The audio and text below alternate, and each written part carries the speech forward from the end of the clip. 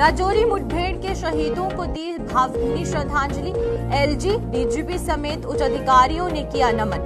देश के पाँच वीर जवानों ने दी थी प्राणों की आहुति। ढांगरी हमले के मास्टरमाइंड सहित दो आतंकी ढेर।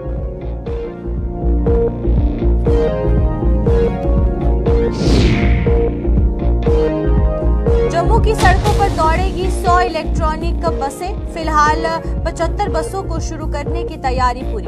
उपराज्यपाल जल्द दिखा सकते हैं हरी झंडी।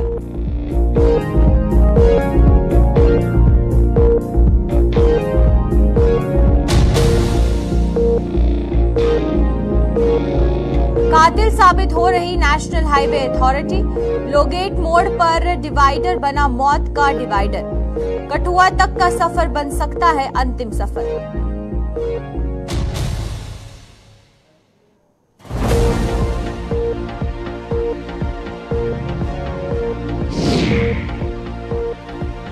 पवित्र देविका का सीना चीरने वालों की आई शामल। अवैध खनन करने वालों पर लग रही एफआईआर।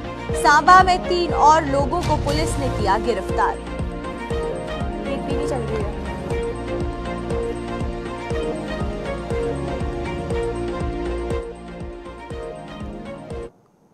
नमस्कार, जम्मू कश्मीर की खास बुलेटिन देख रहे हैं आप सब और मैं हूँ आपके साथ पहले पल्लवी जम्फौल तो चलिए शुरुआत करते हैं आज की बुलेटिन की और सबसे पहले राजौरी की बात करेंगे।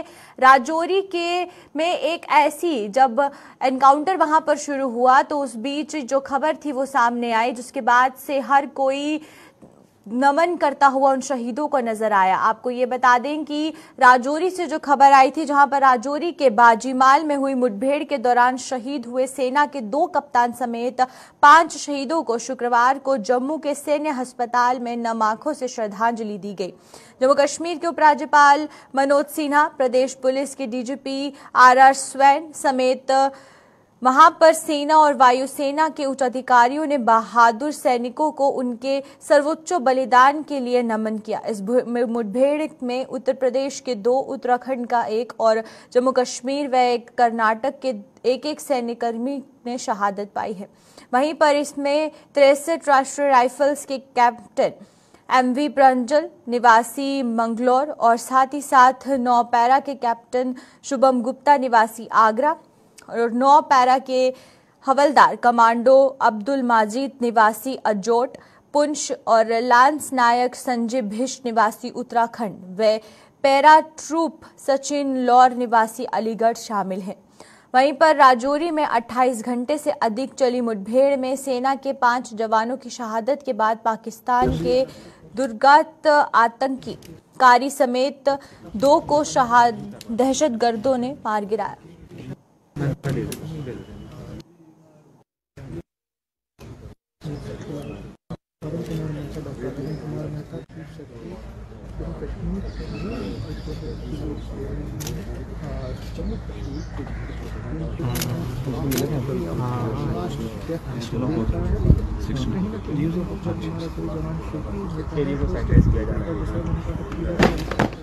हमारे रोमियो फोर्स के जवान और नाइन पैरा के जवानों ने मिलकर ये जो कार्रवाई की है इसमें तो शहादत तो हुई है लेकिन हमने दो खूंखार आत्म आतंकवादियों का खात्मा किया है। इन आतंकवादियों ने डांगरी में या कांडी में या रजौरी टीसीपी में निहत्थे सिविलियंस की हत्या की थी और इसलिए इनका खात्मा करना बहुत ज़रूरी था। इनकी ट्रेनिंग कई देशों में हो सकता है हुई हो पाकिस्तान, अफ़गानिस्तान, हो सकता है वहाँ भी इनकी ट्रेनिंग हुई हो, और ये काफ़ी ट्रेंड फॉरेन टेररिस्ट थे। और इसलिए इनको ख़त्म करने में थोड़ा वक्त लगा, लेकिन हमारे बहादुर जवानों ने प्राणों की चिंता ना करते हुए भी ये सराहनीय कार्य किया। जो हमारे पास खबर है, जो इन सोर्सेज से खबर है, या जो हमें वहाँ पे जो इक्विपमेंट मिला है, उसकी जो पहचान की जाए तो हमें यकीन है कि वो डांगरी में शामिल थे। ये एक मेजर सेटबैक है, क्योंकि जो इकोसिस्टम यहाँ एग्जिस्ट कर रहा था उसको ये एक ताना बाना बुन के साथ में लाना चाह रहे थे। इसीलिए जैसे ही हमने इन दोनों को खत्म किया है, उस पूरी जो एक पाकिस्तान की कार्रवाई थी, उसमें बहुत ही बड़ा सेंध पड़ा है। पुंछ रजौरी का ऐसा एरिया है जो कि नेशनल हाईवे से बाकी देश से जुड़ा हुआ है। इसलिए ये तादाद ऊपर नीचे हो सकती है किसी भी समय पर, बट मैं मान के चलता हूँ कि आज की तारीख पे 20 से 25 यहाँ पर आतंकवादी होंगे जो इस एरिया में ऑपरेट कर रहे होंगे। लेकिन जिस तरह से हमने पुलिस ने सिक्योरिटी फोर्सेज ने और इंटेलिजेंसीज ने जो कार्रवाई बढ़ाई है, जिसमें हमारे लोकल लोगों का बहुत सपोर्ट है, और अगर ये ऐसे ही चलता रहा कार्रवाई तो एक साल के अंदर हम इसको भी बहुत अच्छे से कंट्रोल कर पाएँगे।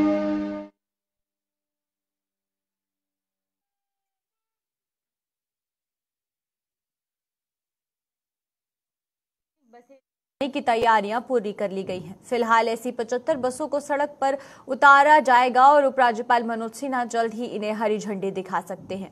इन बसों में सफ़र करने के लिए एक ऐप के ज़रिए टिकट बुक की जा सकेगी और अन्य तमाम जानकारी इस ऐप से लोगों को मिल पाएगी।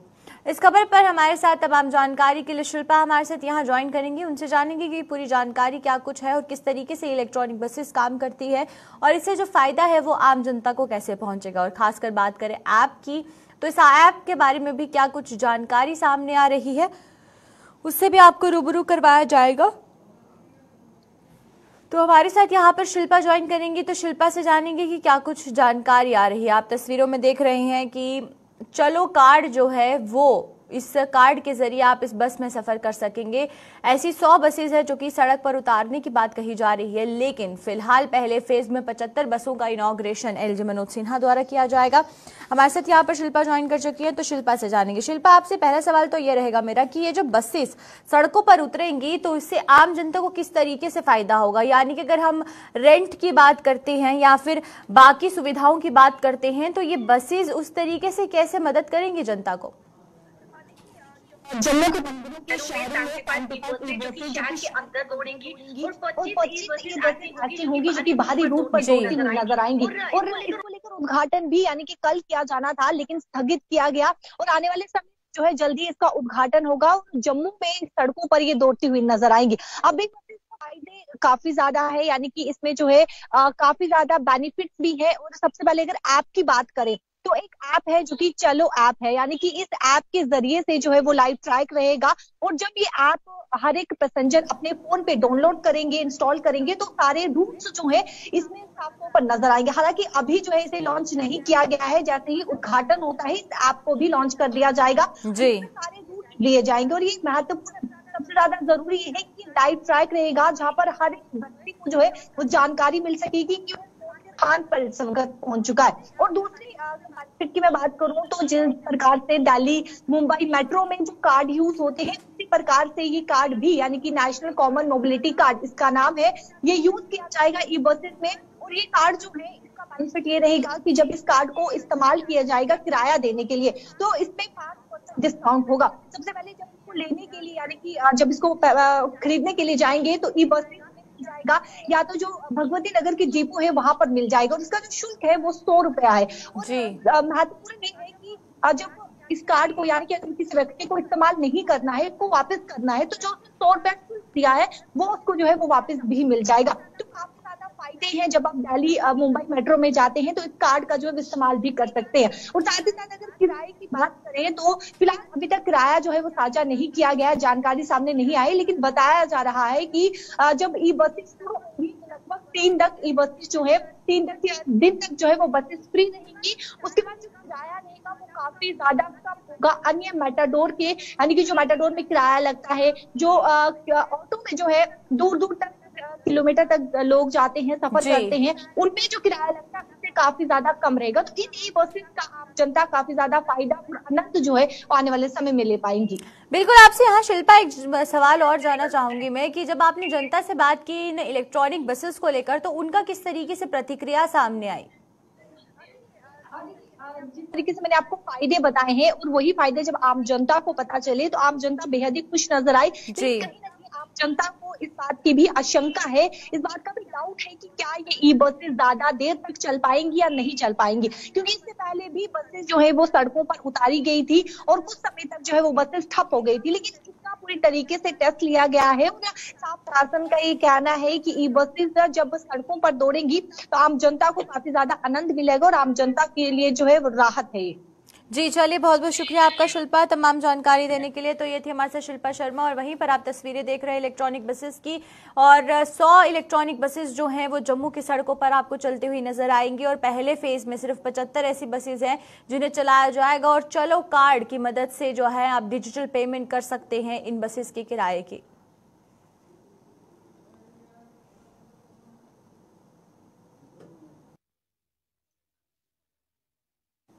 अगर आप जम्मू कठुआ हाईवे पर सफ़र कर रहे हैं तो ये सफ़र आपके लिए अंतिम सफ़र साबित हो सकता है।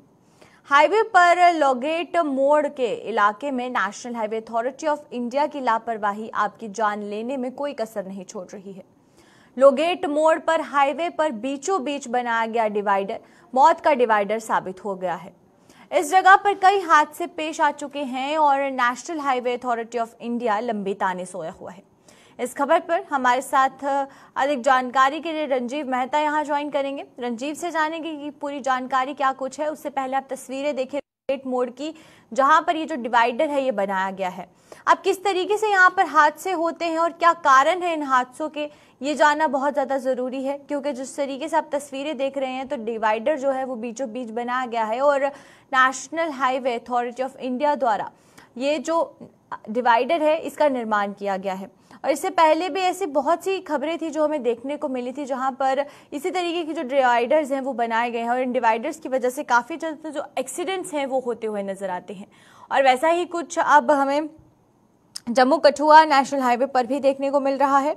और लोगेट मोड़ की जो तस्वीरें हैं, वो आप अपनी टीवी स्क्रीन पर देख रहे हैं, जहाँ पर ये जो हादसे हैं, ये अमूमन होते हुए नज़र आते हैं। हादसों होने के बाद भी अथॉरिटी द्वारा कोई भी ऐसा कदम नहीं उठाया गया जिसमें कि ये डिवाइडर को बंद किया जा सके या फिर कुछ साइन बोर्ड्स लगाए जा सके, जिसकी वजह से जो लोग तेज़ी से हाईवे पर सफ़र कर रहे हैं, वो अपनी जो वाहन की गति है, उसे थोड़ा धीमा कर लें। पर इसके बाद भी कुछ ऐसे कदम नहीं हैं जो कि अथॉरिटी द्वारा उठाए गए हैं।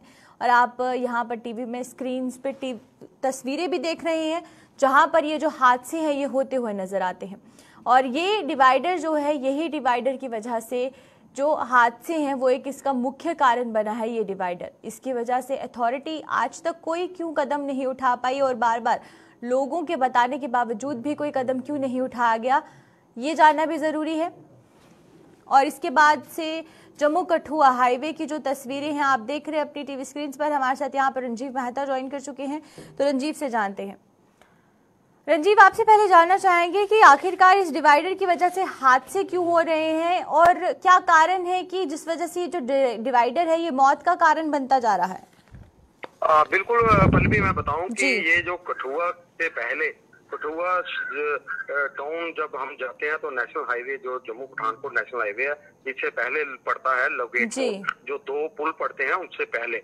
वहाँ पर लगेट पोर्ट का जो चौक है वहाँ पर पिछले दो तीन साल से एक नए पुल का निर्माण किया गया नेशनल हाईवे अथॉरिटी की तरफ़ से क्योंकि जो सिक्स लेन का काम है वो भी हाईवे का विस्तारीकरण का वो जो है वो भी चल रहा है। जिसके चलते एक नया पुल तैयार किया गया और उसको जैसे ही दूसरी रोड के साथ जोड़ा गया तो इस पुल की अलाइनमेंट जो थी वो सारी गड़बड़ा गई है जिसके कारण जो डिवाइडर है डिवाइडर की अलाइनमेंट सही नहीं होने के कारण वाहन चालकों को कई बार एक्सीडेंट का सामना करना पड़ता है क्योंकि जब भी कोई रात को, खासकर रात के समय में, जब भी कोई वाहन चालक अपना वाहन लेकर निकलता है तो डिवाइडर के किनारे किनारे चलता है कि सीधा ये वही जाएगा, लेकिन आगे जाके वो दूसरे दूसरी ट्यूब की जो रोड है, वो उसके साथ मिल जाती है, जिसके कारण वहाँ से सामने से आने वाली गाड़ियों के साथ टक्कर हो जाती है और आए दिन एक्सीडेंट यहाँ का एक्सीडेंट होते रहते हैं और ये हॉट स्पॉट बन चुका है एक्सीडेंट का। और यहाँ पर एक बात और बताने वाली ये खास है कि यहाँ पर जो डिवाइडर जो बनाया है कोई कोई दो किलोमीटर लंबा किलोमीटर लंबा उसमें एक ट्यूब के अंदर जो दो गाड़ियाँ चलती हैं एक पे जो तार कोल जो है वो समतल करके डाल दी गई है और दूसरी तरफ़ वाली जो है उसके साथ ही उसको वहाँ से तार तारपोल जो पुरानी थी उसको उखाड़ा गया लेकिन वहाँ पर आज तक नहीं डाली गई है जिसके कारण वहाँ पर गड्ढे हैं छोटे छोटे और जितने भी दोपहिया वाहन चालक हैं उनके लिए काफ़ी दिक्कतें हैं। जब भी वो उस रोड पर पुल अपनी स्पीड में आ रहे होते हैं तो उस पर जैसे ही पहुँचते हैं तो उनका संतुलन बिगड़ जाता है और गिर पड़ते हैं जिसके कारण कई एक्सीडेंट हो गए हैं और कई लोग अपने जान यहाँ पर गवा चुके हैं। कईयों के कई कई लोग दर्जनों लोग घायल हो चुके हैं। रोज़ाना एक दो एक्सीडेंट यहाँ पर होना आम बात हो गई है। लोग काफ़ी परेशान हैं। ऊपर से एक रास्ता जो यहाँ से इस लोगेट मोड़ से जो है लोगेट मोड़ के अंदर जो लोगेट में इंडस्ट्रियल एरिया है उसके लिए बड़े बड़े वाहन उस तरफ़ जाते हैं। लेकिन प्रॉपर तरीके से नहीं बनाए जाने के कारण लोगों को दिक्कतों का सामना करना पड़ रहा है। पल्लवी लोग काफ़ी त्रस्त हैं। कई बार उन्होंने जिला प्रशासन तक इसकी बात पहुंचाई लेकिन अभी तक इसका कोई हल नहीं हुआ है। लोगों की परेशानियाँ जो है वो दिन ब दिन बढ़ रही हैं। इस डिवाइडर की वजह से इस यहाँ पर तीन डिवाइडर बने हुए हैं। हमेशा कोई भी सड़क होती है उसके अंदर एक डिवाइडर होता है। एक तरफ़ से आने वाली ट्यूब होती है एक जाने वाली। लेकिन यहाँ पर तीन बने बनने के कारण लोगों को पता नहीं चल पा रहा ना कोई बोर्ड लगा हुआ है जहाँ से डाइवर्शन दी गई हो कि इस रोड पे आने वाली गाड़ी आनी है इस पर जाने वाली। लेकिन बिल्कुल आपसे हाँ रंजीव एक सवाल और जानना चाहूँगी क्या किसी तरीके का कोई साइन बोर्ड लगाया गया है डिवाइडर से पहले कि स्पीड लिमिट को जो है वो कम कर दे ताकि अगर एक्सीडेंट्स हैं तो उस वजह से स्पीड लिमिट कम हो तो ज़्यादा बड़ा हादसा ना हो सके? बिल्कुल ऐसे डिवाइडर बिल्कुल नहीं ऐसे बोर्ड कोई नहीं लगाया गया है कि जो वाहन चालक हैं उनको कहीं इसके लिए सावधान किया जाए पहले ही कि आपको किस तरफ़ चलना है और कितनी स्पीड में चलना है। इसके लिए नहीं होने के कारण काफ़ी दिक्कतें हैं खासकर वो वाहन चालक जो बाहरी राज्यों से आते हैं जो कभी कभार या पहली बार इस इस मार्ग से गुजरते हैं उनके लिए दिक्कतें ज़्यादा बढ़ जाती हैं क्योंकि जो रोज़ाना गुजरता है उसको पता है वो थोड़ा संभल कर चलता है लेकिन जो बाहर से आने वाले लोग हैं खासकर रात के समय में तो बिल्कुल भी पता नहीं चलता और जिसके कारण एक्सीडेंट रोज़ाना होते हैं और काफ़ी बार इसको ये मसला नेशनल हाईवे के पास भी उठाया गया, लेकिन अभी तक इस पर कोई कार्रवाई नहीं होने से लोगों का नेशनल हाईवे अथॉरिटी के खिलाफ काफ़ी रोष जो है वो व्याप्त है। जी, चलिए, बहुत बहुत शुक्रिया आपका, रंजीव। तमाम जानकारी देने के लिए तो ये थे हमारे साथ रंजीव मेहता और तस्वीरें आप देख रहे हैं जम्मू कठुआ नेशनल हाईवे की और लोगेट मोड़ के पास जो ये डिवाइडर है, इसकी वजह से काफ़ी ज़्यादा एक्सीडेंट्स हो रहे हैं, जिससे कि काफ़ी ज़्यादा जो क्षति है वो लोगों को पहुँचती है।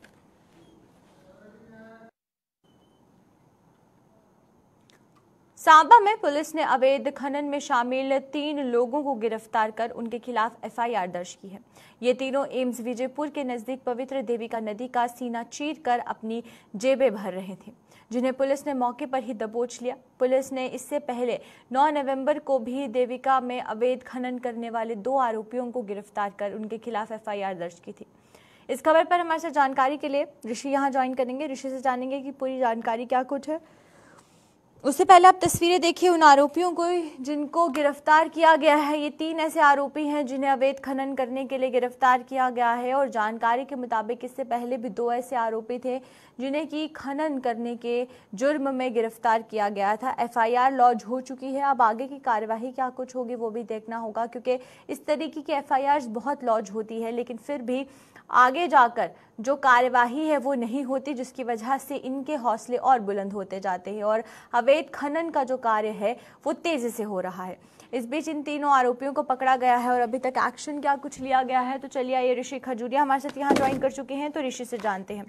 ऋषि, आपसे पहला सवाल तो मेरा ये रहेगा कि एफआईआर जो लॉज है, वो की जाती है? उन्हें लोगों को गिरफ़्तार किया जाता है, लेकिन उसके बाद कार्यवाही किस तरीके से होती है, वो जानना ज़रूरी है। तो अब इन तीनों को जो गिरफ़्तार किया गया है तो आगे कार्यवाही को किस तरीके से अंजाम दिया जाएगा?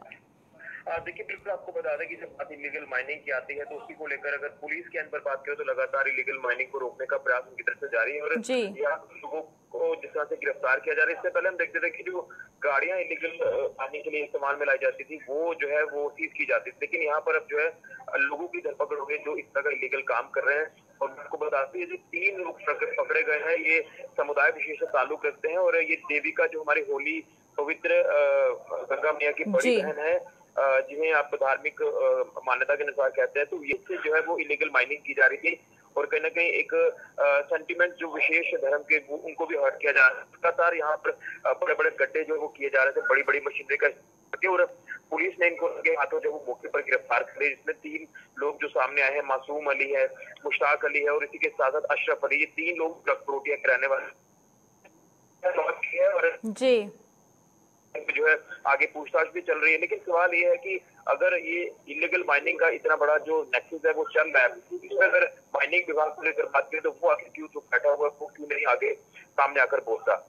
बिल्कुल आपसे यहाँ पर एक और एक आखिरी सवाल आपसे ऋषि ये रहेगा मेरा कि जो इससे पहले लोगों को गिरफ़्तार किया गया है उन पर किस तरीके से एक्शन हुआ है?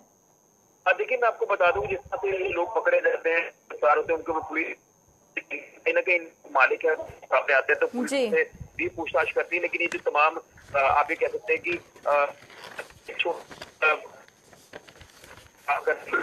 यही इस तरह का इलीगल काम जो कर रहे हैं ये लेकिन कहीं ना कहीं नेक्सस के कहने पर ये तमाम जो काम है किए जा रहे हैं। हालाँकि पुलिस इसमें कुछ ना कुछ कोशिश कर रही है कि रोकथाम इसकी लेकिन सवाल यही है कि अगर प्रशासन जब तक कोई इस पे रोक पाना जो काफ़ी मुश्किल होगा। हालाँकि पुलिस अपने कार्रवाई को अंजाम देती नज़र आएगी चलिए, बहुत बहुत शुक्रिया आपका, ऋषि, तमाम जानकारी देने के लिए। तो ये थे हमारे साथ ऋषि खजूरी और वहीं पर आप तस्वीरें देख रहे हो उन तीन आरोपियों की, जिन्हें गिरफ़्तार किया गया है और इन पर ये जुर्म है कि अवैध खनन कर, जो अवैध खनन कर रहे थे और जिसकी वजह से इन्हें जो गिरफ्तारी है वो मिली है।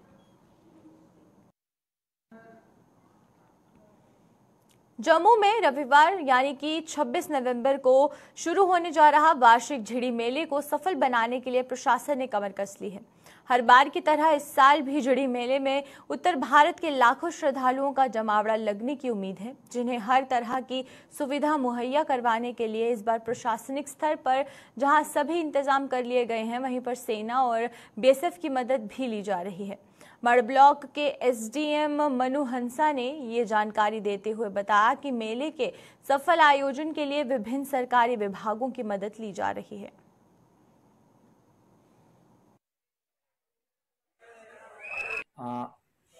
वहाँ पे जीडी में अकोमोडेशन की हमेशा से एक प्रॉब्लम रहती आई है तो उसको पूरा करने के लिए हमारी कुछ सराहें तो वहाँ पे है ही हैं। प्लस हमने स्कूल्स की कुछ बिल्डिंग्स जो हैं, वो भी हमने ओपन की हैं यात्रियों के लिए। यात्री निवास अपने अपना ओपन किया है। प्लस इस बार कुछ हम टेंट्स जो हैं, वो आर्मी और बीएसएफ की हेल्प से वहाँ इस्टेब्लिश कर रहे हैं। ये फ्री ऑफ़ कॉस्ट एकोमोडेशन रहेगी यात्रियों की फैसिलिटी के लिए। ट्रैफ़िक और लोगों को रेगुलेट करने के लिए हमने इस बार ट्रैफ़िक जो प्लान है, वो पुलिस सिक्योरिटी इन सब के साथ मिलके बनाया है। और ट्रैफ़िक की जो हमारी पार्किंग यार्ड्स हैं वो मंदिर से लगभग 300-400 मीटर दूर हमने रोड पे पार्किंग यार्ड्स आइडेंटिफाई किए हैं। इनको मैन करने के लिए आउटसोर्सिंग से एजेंसी आई है ताकि गाड़ियाँ जो है वो प्रॉपर तरीके से वहाँ पे मैनेज हों और लोगों को क्रैश ना बचे और लोग वहाँ जो एक स्टेम्पर लाइक सिचुएशन रहती है उससे हम बचाव जो है वो कर पाए। मेले में कल्चरल प्रोग्राम्स की बात करूँ तो आ, उसके लिए हमने आर्ट एंड कल्चर अकेडमी के साथ टाइप किया है। तो आर्ट एंड कल्चर टूरिज़्म के साथ भी हमने टाइप किया है। हर दिन आपको एक डिफरेंट जो कल्चरल आइटम्स हैं वो वहाँ देखने को मिलेंगी। आ, जो हमारा लोकल यहाँ का फोक डांस है फोक सॉन्ग्स है दंगल है ये सब चीज़ें बेहतरीन आपको वहाँ पे मेले में दिखेंगी। इसके साथ साथ ही अम्यूज़मेंट पार्क जो है उसको बेहतरीन तरीके से इस्टेब्लिश किया है। यहाँ बच्चों के लिए झूले इस तरीके की फैसिलिटी जो है वो प्रोवाइड की जा रही है। उन्हें सब चीज़ों को रेगुलेट करने के लिए हमने एक कमेटी बनाई है, कमेटी ने कुछ रेट्स भी इसके निर्धारित किए हैं, उनको हम ज़रूर इन्फोर्स करेंगे ग्राउंड पे। तो इन्हीं शब्दों के साथ मैं ये कहना चाहता हूँ कि, और मेरी लोगों से अपील भी है कि वो बढ़ चढ़ कर मेले में आए, बाबा जी के दर्शन करें और मेले का आनंद उठाएँ। सर्दी की आमद के साथ ही अब धुंध और कोहरे ने भी दस्तक दे दी है। आज सुबह आरसपुरा के कई ग्रामीण हलकों को धुंध ने अपनी आघोश में ले लिया। हालाँकि धुंध की आमद ने किसानों की चिंता बढ़ा दी है। उनके मुताबिक धुंध जहाँ उनकी फ़सलों और सब्जियों के लिए घातक साबित हो सकती है, वहीं पर धुंध और कोहरा बीमारियों की को भी दावत दे सकता है। धुंध से सर्दी में भी बेतहाशा बढ़ोतरी हो गई है।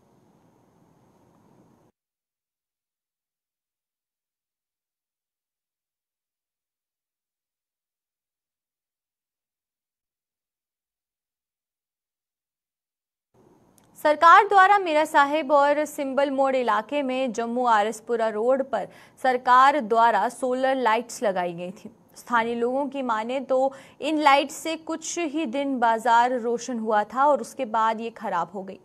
और उसके बाद आज तक किसी ने भी इनकी मरम्मत करवाने के लिए कोई कदम नहीं उठाया है। और तो और सोलर लाइट्स के साथ साथ मीरा साहिब में अन्य स्ट्रीट लाइट्स भी खराब पड़ी हुई हैं। और प्रशासन इनकी मरम्मत को लेकर भी संजीदगी नहीं दिखा रहा है। लाइट्स खराब होने के कारण आए दिन यहाँ सड़क हादसे पेश आ रहे हैं और चोर अंधेरे का फ़ायदा उठाकर चोरी की वारदातों को अंजाम दे रहे हैं। ये अपने फंड से ये लाइटें देके, बट वो लाइटें लगाई थी, चली नहीं।